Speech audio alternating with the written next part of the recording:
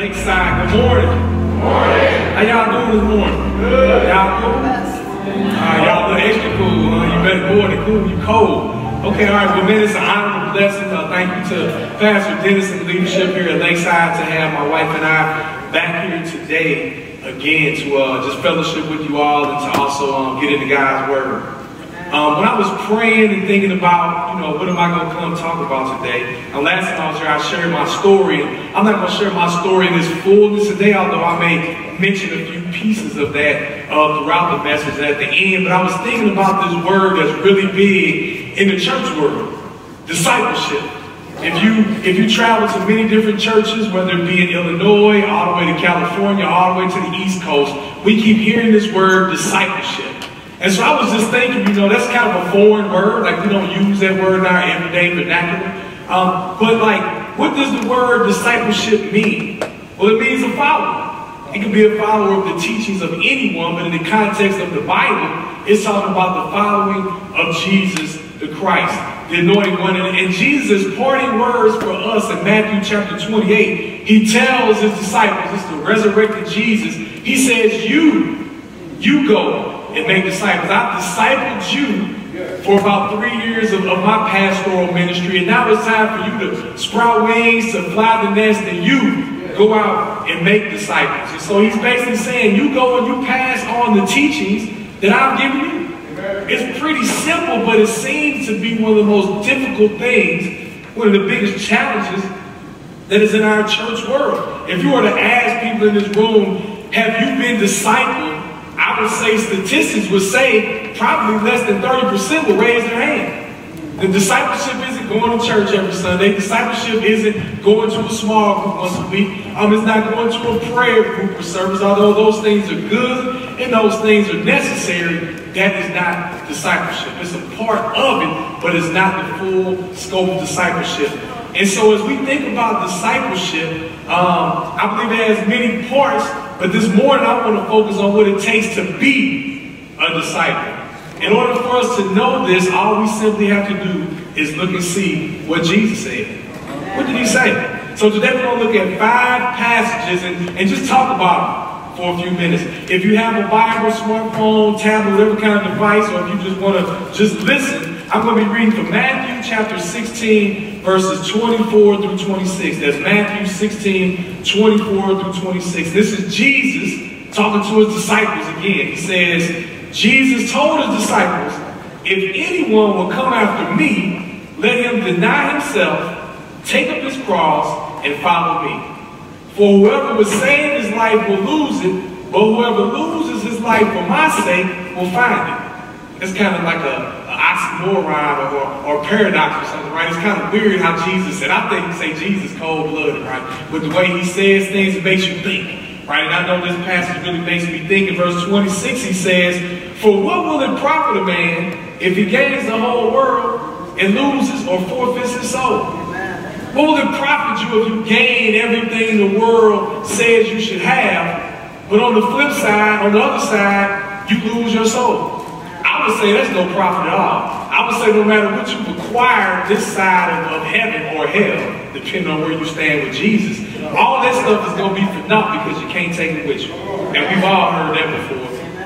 I believe it's quite simple for us to see how to be a disciple of Jesus. Is denying yourself, picking up your cross, and following him. The first thing I want to look at is denying yourself and ask the question, what does this really mean? I actually asked this question twice of two different groups of people, and I got the same answer. They said that it means not to sin. And I was kind of perplexed or dumbfounded because I, I don't really see it that way. Because, you know, we all know that, that the call that God has for our lives is that we accept His Son, Jesus Christ, and that we abstain or stay away from sin. So that's a given, right? Like that's a given. It's kind of like when you have those um, uh, people are giving up things like Lent, and they say, "Well, I'm gonna quit cussing, Oh, or I'm gonna quit getting high." And it's like you should be doing that stuff anyway, right? Like this is an occasion to stop sinning. We should stop sinning every day of our lives, period. So if that's true, if that's the case, then what does denying yourself mean? I think it means denying ourselves things in this world that are not sin, that can become idols or things that grab so much of our time and our resources that it takes us far away from God. And those things can become sin, but they're not sin in and of themselves. For instance, I think about people who are all about their career. Right? This world teaches us you want to have a career, and if you want to be successful, you'll have a successful career. And the more success you want means the more time that you put into your career. And we know that people, if they're really focused on their career, there's a whole lot of things you can kind of leave by the wayside. Like if you're married, not going to have that successful marriage. If you have children, where are you going to be in the discipleship and spiritual formation of your children's lives when you're over here putting in hours and hours and hours trying to gain a successful career? And oftentimes with that, there's prestige that comes with the titles, you know, CEO, CFO, COO, and all those O's. You know, there's a lot of prestige that comes along with that, right? And also with that prestige comes what? Comes the bands, right? Comes the dollars. You know, and that's a different type of prestige because that's linked to the houses we have, the cars we drive, the vacations we take, the clothes we wear, and what we get our kids involved in. Oftentimes we can find ourselves so ingrained in the lives of our children. Now get this, I don't have any indictment against parents loving their children and being for their children. But I would ask the question, if you are so consumed with trying to get your children involved in every extracurricular activity that there is, where is the spiritual formation in their life? Where is the time that you are using to dedicate to service for the Lord? Because you are vicariously, in some instances, living your life through your children. In other words, you're trying to give them the life that you didn't have, therefore you're living your life through them. That's not the lens of which God has to live our lives through. The lens that we live our lives through Christ following is simply through denying ourselves and picking up our cross and following Jesus. This is the call that God has given us for us to do. I believe that he's not telling us to conform to this world. In Romans chapter 12, verse 2, he says, Don't be conformed, but be transformed by the renewing of your mind. See, my brothers and sisters, I think it's pretty simple. The world that we live in is indoctrinating us with all these worldly concepts and all these ideas. And these things are very, very much so against the gospel that Jesus came to present. It's against the very precepts of his word, which we get the Holy Bible, that we have this rift, right? We have this internal tension where we see what God's word says we hear, see, and understand what the world says, and there's this pull, right? There's a Holy Spirit that's trying to pull us out of the world, because some of us, we got both feet in the Word. Some of us got both feet in the Word, and some of us got one foot in each. What God calls us to is both feet over with Him. That's what He's calling us to. He's saying, deny yourself these things. Deny yourself. If you can be have a successful career, there's nothing wrong with having a successful career, but is it pulling you away from God? Is it pulling you away from your family, your wife, your children? Is it pulling you away from serving the Lord? Jesus didn't come to, to, to be served, but to serve. Right? That's what Mark's whole gospel is predicated on. The servant of God. Jesus, Mark presented Jesus as a humble servant. Right? If we're going to, to follow Jesus, then we need to what? We need to follow Jesus. We need to be serving. And although you may serve on a Sunday morning, and I know you got a portable church, there's a lot of moving parts and a lot of areas to serve, and it's great for all of you that, that sacrifice some of your time to help put all this together on Sunday. But it doesn't just end on Sunday. It just doesn't end on Sunday because there's so many injustices in the world today, right? And the world is good about these injustices, right? They throw money at it, they throw problem solving at it, but as Christ followers, we know the solution to the world's problems is one thing and one thing only. It's Jesus. That is the only answer for the injustices of our world today. It is Jesus, a crucified Christ, who came to live and die and rise again to, to solve all these problems. And where are we in that? Right? If we have to rely on, on Pastor Dennis to, to preach to everybody in this whole area, guess what? He gonna fail. He gonna fail because that's not the plan. The plan is for him to be equipping the saints, to be equipping you, to be pastors, to be teachers, to be disciple makers in your community, in your neighborhood, at your job, with your family, at Jiffy Lube, at, at Meijer, or all these shopping, wherever you shop at, God is calling us to be light of the world. But in order for us to do that, we got to deny ourselves. We got to look at our time and say, what are we utilizing our time for? Is it to build my kingdom or is it to build the kingdom of God? See, God only has a plan A. Right? We're taught to have a plan B and plan C and, and so on and so forth in, in, in case plan A or B don't work, right? But see, God only has a plan A because it's going to work. The question is, are you going to get on board with it? Are you going to get on board with God's? If you are, that's the first step, is denying yourself. Is denying yourself these worldly pleasures. And again, I'm not talking about sin. I'm talking about maybe it's taking less expensive vacations and sowing that, that, that extra finance that you have left into the kingdom of God. I'm saying it's denying yourself going out here with your kids and getting involved in everything for their sake, but taking them to a, a, a Feed My Starving Children session or taking them to a, a homeless place and doing some ministry work, praying with people, witnessing to people, and telling them about the love of Christ that encountered your life and changed you and shaped you and molded you into the person that you are today. It all starts with denying yourself. There's a guy named um, William Whiting Borden. He was born November 1st, 1887 in Chicago, Illinois, to a very wealthy family that made their name, made their fame and fortune in silver mining in Colorado. As a high school graduation present, he was given a chaperone trip around the world. But I, I wouldn't mind having one of them. Come on. And it was during this trip he decided what he wanted to do with his life. Because he saw such injustices and poverty in other countries, he wanted to give his life to that. So he came back home and started educating himself. He graduated from Yale in 1909, and then right after that, he got a theological degree from Princeton. And this is an educated brother. This is an educated brother. He became uh, one of the directors at Moody Bible Institute at the age of 22. And it was during this time where the Lord spoke to him and told him specifically what he wanted him to do. He wanted him to go to China and minister to Islamic people in northern China. And so he decided, decided to give up everything that he had. His fame, right? His fortune. He was up there with the Rockefellers. You heard the name Rockefeller before, right? They, they're one of the richest families ever on this planet. This family was right up there with the Rockefellers back then in the early 1900s.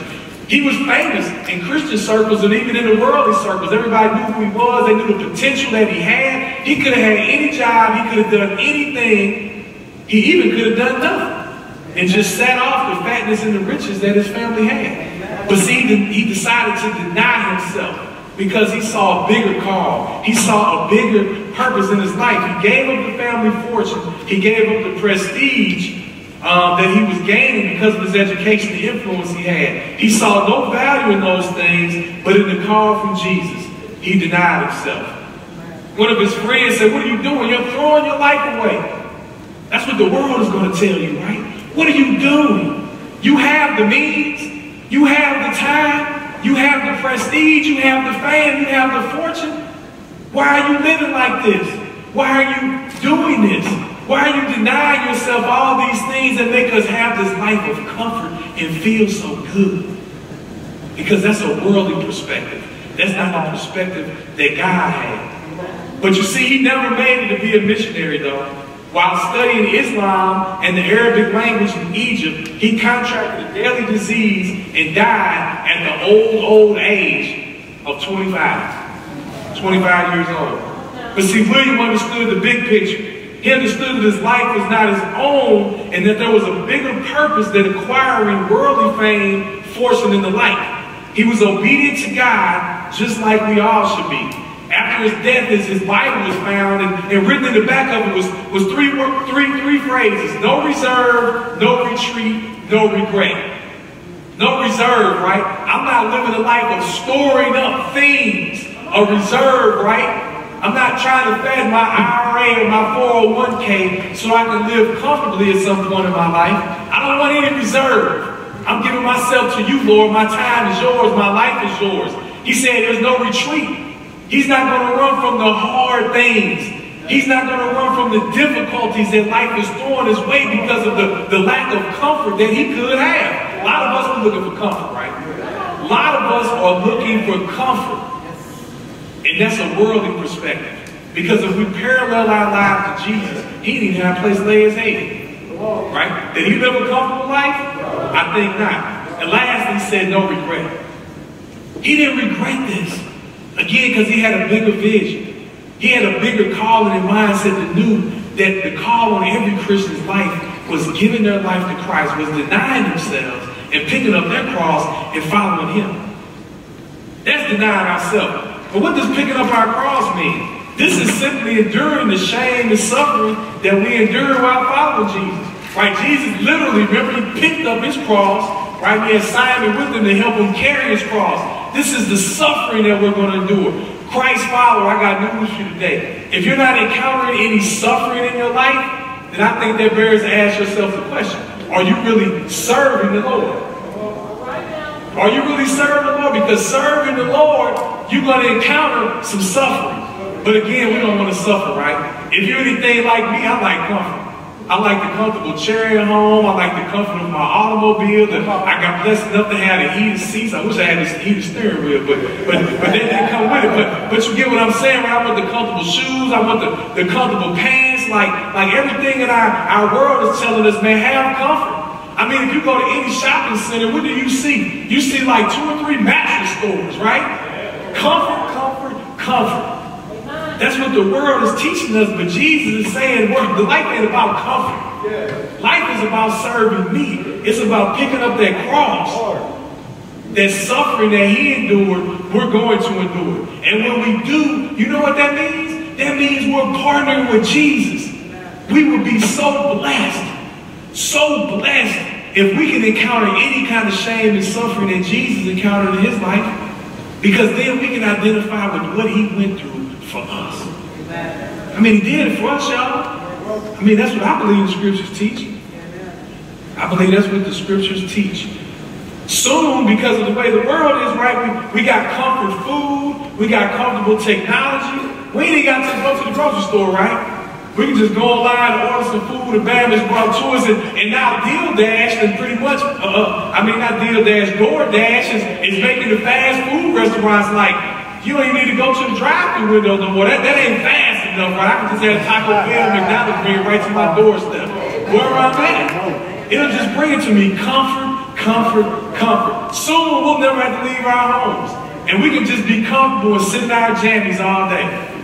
Don't that sound, that sound kind of good this morning. I bet some people doing it this morning, right? At home sitting in their jammies. But the point is, right, God doesn't call us to live a life of comfort. He calls us to a life of carrying our cross. See, we don't like pain and suffering.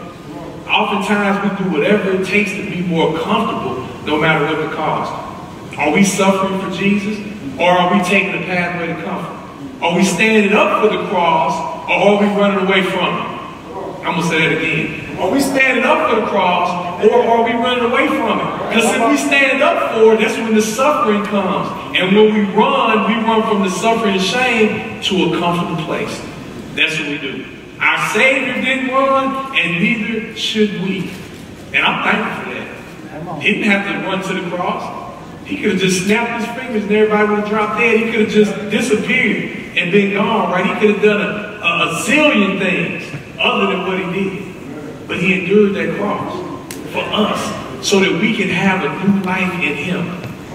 In the book, What if Jesus meant what he said, the author writes, when Jesus tells us to deny self and take up our cross, this is not a punishment, but a privilege. It's a privilege, right? And for those of us that have committed our lives to Christ, we live a privileged life. Because our Father is the God of all creation. Right? We, we should never want for nothing. His word says He's going to take care of us. He gonna take care of us, and when this whole body gets sick and, and decays and dies, guess what? He gives us a brand new one where we spend eternity in heaven with Him. You know, if, if, if Christ ain't your Savior, you don't have that privilege. You don't have that right. You can either go kick it with your dad and the devil for eternity in the lake of fire and be hot. I, I like to be hot right now, but not that type of hot. Because that's gonna melt you right there. That's some, that's some heat. And lastly, what does it mean to follow him? Jesus said if you want to save your life, you must lose it. This is that paradox again, right? If you want to save it, you must lose it. If you want to save your life, you must lose it. This is how we follow him. We lose our lives, y'all. And we don't literally lose them, right? Like we're still alive. What does it mean It means lose our lives in him. It means to love him. We can never love him as much as he loves us, but we can try. Right? We can make a concerted effort every day to say, Jesus, what do you have for me today? Instead of me worried about my kingdom and how I can build it and advance it, maybe it's the mindset of God. How can I help build your kingdom and advance it? That is the mindset that we should have as Christians. We should let him be in total control. We should be in submission to him. Jesus used the illustration of gaining the world and losing your soul. What good is it, is it to have everything but to have nothing? What good is it to have everything but to have nothing? Because in the world's eyes, in this, this world of comfort and, and running from the cross, right, is this idea of us gaining our life. So many things in this world is trying to help us preserve our lives because we don't want to die. And, and granted, like we shouldn't be suicidal, we should be wanting to die, but but we never die. Right? For those in Christ, we never see death, the word of God says. All we do is just transfer from one place to another. The writer of Colossians says that our citizenship is in heaven. If you're in Christ today, that means you got a place in heaven. You are a citizen of the kingdom of God presently, right now, today. We never die. When a person dies, you go to a funeral, if they're a Christian, that's a celebration. Although it leaves us sad in the flesh, right? We know where they are because we understand what God's word says we understand what God's word says. It's not, and it's, I think about tomorrow as we celebrate um, Dr. Martin Luther King Jr.'s birthday. I think about what an incredible example of denying himself and following, following Christ. Right? What a better example. I mean, this was a famous man. Right? Why was he famous? Because he stood up for injustice. He was tired of seeing Satan take advantage of human beings. People who God loved, people who Jesus died for. So he stood up. And in his standing up, what did he do? He stood up and he picked that cross up. He picked that burden up that for many of us in this room, if it wasn't for him, for him, what would our lives look like today? What would it look like today?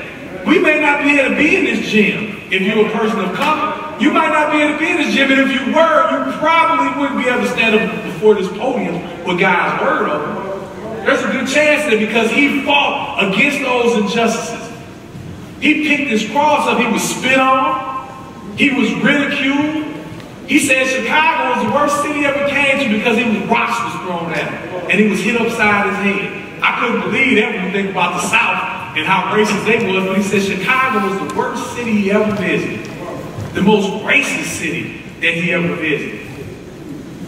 He was the very epitome of Matthew chapter 5 when Jesus said, turn the other cheek. Jesus said some hard stuff, y'all. If you haven't read it, I encourage you to get in here and read about it. He said, turn the other cheek, and that's what Dr. King did. He taught nonviolence. When the world was saying you go and do something, when the Black Panther Party and Malcolm X, I would say, which was, would be the opposition, where they were saying we need to arm ourselves and we need to do something. We need to pick up the sword. Dr. King said, no, we don't pick up the sword. We put down the sword and we pick up the pen. We pick up the cross, better yet right? We follow Jesus.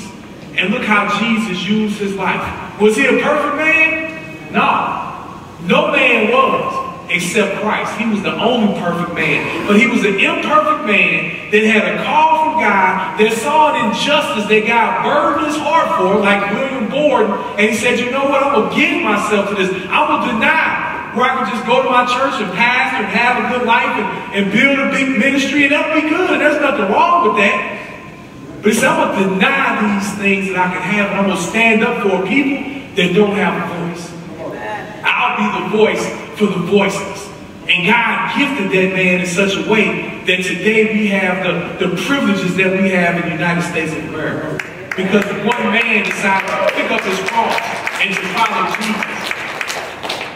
We should be encouraged this morning. We should be praying and asking God, what injustice can we give our lives to? Because that's what following Jesus right? It means if you're going to follow Jesus, you're going to stand up against sin, you're going to stand up against the world, the things of the world, and you're going to plug yourself into them. And it's gonna cost you, y'all. I'm gonna tell you, it's gonna cost you, man. It's gonna cost you some heartache. It's gonna cause you some pain, some stress, some frustration. But what you get to do is enjoy this privilege of picking up this cross that Jesus once picked up, picked up, and partner with Him in that mission. I know for me, when I first encountered these verses, it was in a maximum security prison with life in 100 years. And I, and I saw that and I was like, you know what, that's me. I was trying to gain the world. Right? I didn't want to lose my life, although I was selling drugs and then drive-by shootings and the like, putting myself in situations to lose my life. Why? To gain the world. See, oftentimes we'll, we'll step over the line of justice and government to try to achieve and have things that the world says you need to have to be successful and to make you somebody, right? And it'll put your life in danger. It'll put other people's lives in danger. And that's what I was doing, thinking that I was preserving my life, thinking that I was really gaining something. But what I was really doing was losing my life. And that's what happened. When that judge's gavel hit and said guilty, and they gave me the sentence life plus 100 years at 19 years old, for me, my life was over. I was like a zombie. I was a dead man, but I was still alive. But see, it was when I encountered Christ, when I went to go take a man's life, because he gave me a gift that I encountered Christ. That I saw that, that God had something greater for me. That he had a call for my life. Just like he does all of our lives. Because see, me and Pastor Dennis, we ain't nobody special. We just with some people that's crazy enough to say, God, if you want us to, to get in your word and, and preach your word to people, then we'll do it. Right? We, we crazy enough to do that. They say public speaking is the most fearful thing there is in the world. I think spiders or snakes is next which is kind of crazy, right? They say public speaking is the scariest thing, but we decided to say, you know what? We're not going to let fear dominate our lives? What we must have the mindset of if we're going to pick up this cross and follow Jesus. Fear can't be a part of it, right? Faith. Faith has to be the reason. We have to have faith that God has given us all a measure of faith. And if you're a Christ follower today, he's giving you faith. It may be as small as a grain of mustard seed, but the Bible says that will move them out. so if that's all you got, you got something powerful. Right? And God is your daddy. The only God, the true and living God that created everything, that owns all things. So that little bit of faith you think you might have that might not be enough, I'm going to tell you they don't believe the lie. Satan wants you to believe that you don't know enough, that you ain't good enough, that you got too much sin in your life. These are all the things he wants you to believe to keep you from clinging close to the cross and picking that deal up and following Jesus. But I want to tell you today that the life that God calls us to is the best life may be thinking, how can suffering and shame be the best life ever? I'm saying it's the best life ever because the, the community that God allows you to be in, the blessings that you see, the understanding that you know of God that other people don't know to help you navigate life is unlike anything. And if you don't believe me, give it a try. It's, it's some naysayers in the crowd, no doubt. It's enough people in here for it to be some non-Christ followers in here. You don't believe what I'm telling you, give Christ a try. Understand that you a sinner. And then what you deserve is, is death. That's what we all deserve. We don't deserve justice, we deserve justice but instead, God gives mercy for those that ask for it. He extended his grace towards us so that we can know him, have a relationship with him, and that will then enable us to deny ourselves, pick up our cross, and follow him. You see, I decided around 20 years old that um that this life I was living, man, it wasn't a good life. It was putting my life in danger, other people's lives in danger, and that I had essentially ruined my life. And maybe some people here today that you feel like your life is ruined or you're on the brink of ruining your life and you feel like you have no hope. Well, I can tell you with life in 100 years and then quickly after getting two more life sentences, that was the nail in the coffin, so to speak. Right? I would never get out of the penitentiary. But I said, Jesus, you know what? It don't matter if I get out of the penitentiary. What matters is what my life looks like for you. Because you did something that no man has ever done. You died for me. A lot of people that say they'll die for somebody, you don't know what you would do when you face that opportunity. You may die for them, you may break and run, you may freeze up. But Jesus did nothing but run to that cross. And he ran to that cross for us. So for you today, if you haven't accepted Christ as your Savior, man, he offers that grace to you. The unmerited favor, something that you don't deserve, he offered that for you thousands of years ago when he died on that cross. He said, all you got to do is come to be humble. All you got to do is, is confess your sins, Romans 10, 9. You confess your sins and believe um, that God raised Jesus from the dead, you'll be saved. Right? I know it's a lot to believe because we weren't there, but that's where this word faith comes in. If your life is ruined so you think, or is on the brink of being ruined so you think, Christ will give you new life. And that's what he did for me. And after 15 and a half years of being in prison, he said, it's time for you to go. It's time for you to go. And he let me out of prison. And that's just it, right? There wasn't no Lord. There wasn't no. There wasn't nobody that did anything to make that happen but God. With his goodness and his mercy saw fit. And then he sent me on a mission. He said, son, if you really want to deny yourself, if you really want to pick up your cross and follow me, I got something for you, son. Because that's why I let you out of prison. I said, all right, God, come on with it. Let me get there. You know what he said? He said, I let you out of prison just to send you back. I said, hey, God, if that's the cross I got to bear, there's no fame and fortune in that. You know, there's no lot of money in, in prison ministry, ministry period for most time, but not prison ministry. That's the bottom of the barrel. There's nothing good for that. But those men and women who are valuable, some of us, those are our relatives and friends and neighbors, co-workers, they have value. Jesus died for them like he died for us. And he said, I want you to go and I want you to tell them about my goodness so that that slave to sin can be set free. And that's what I leave you with this morning. You, if you're a slave to sin, you can be set free. Christ is the only way to be set free of your sins. And I pray to encourage you all who have accepted Christ to evaluate your life and ask yourself, am I really denying myself? Am I trying to build my kingdom, my kingdom of comfort? Or am I going to start focusing on God and enduring some of this suffering and shame by picking up my cross and serving Him? Do an evaluation. Ask yourself, Go through a list of what you're doing with your life and see some areas that you can give up and start serving Him. Let's pray. Father in heaven, thank you so much for today. We thank you for your word because in it we can understand and know God, His nature, and we can get and understand our Savior Jesus. I just pray for all of us this morning, Lord God, that these words of yours can soak into our hearts and our minds, Lord, that they can come out in our hands and in our feet. And for the ones that are here that don't know you, Father, I pray, Father, that the Holy Spirit will just make their lives a living wreck. Wreck their hearts and wreck their minds, Lord. Draw them to you. Help them recognize who they are outside of you, but then let them know that you got something greater for them, Lord. A life that's unlike any other.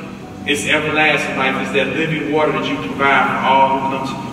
We thank you so much, Lord, for all things. In Jesus' name, amen. amen.